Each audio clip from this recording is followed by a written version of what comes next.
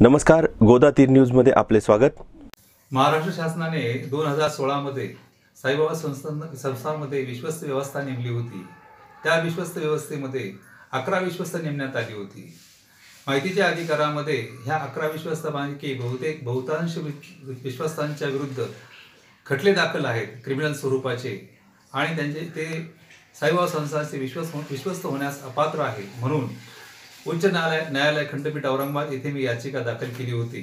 त्या याचिकेची सुनावणी होऊन उच्च न्यायालयाने या सर्व विश्वस्तांची पुनर्रचना करावी नवीन विश्वस्त मंडळ नेमावे असे आदेश केले. महाराष्ट्र शासनाने ह्या आदेशाला सर्वोच्च न्यायालयामध्ये आव्हान दिले.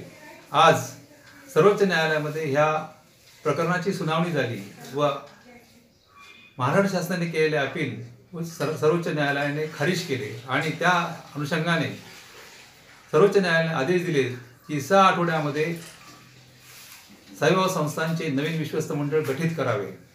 या विश्वस्त मंडळामध्ये अधिनियमात असलेल्या तरतुदीप्रमाणे उच्च शिक्षित प्रशिक्षित असे विश्वस्त नेमावे ज्यांना अनुभव आहेत इंजिनियर डॉक्टर वकील आर्किटेक्ट अशी लोक नेमावी ज्यांना ज्यां ज्यांना संस्थांच्या कार्यकाळासाठी वेळ देण्याची क्षमता आहे. सायबर संस्थांमध्ये जे अकरा विश्वस्त नेमले होते त्यापैकी तीन विश्वस्त जे शिवसेनेचे आहेत कीर्तिकर नेर्लेकर आणि मनीषा कायंदे या तीनही विश्वस्तांनी साईबाबा संस्थांकडे कामकाजामध्ये एक दिवसही कामकाज पाहिले नाही. दोन विश्वस्तांनी आपण होऊन राजीनामा दिला त्यांच्यावरती आक्षेप घेतल्यामुळे. अशा पद्धतीने हे सर हे जे विश्वस्त मंडळ आहे अल्पमतात आलेलं होतं. आज सर्वोच्च न्यायालयाने शिक्कामोर्तब करून न्यायाला न्याय दिलेला आहे.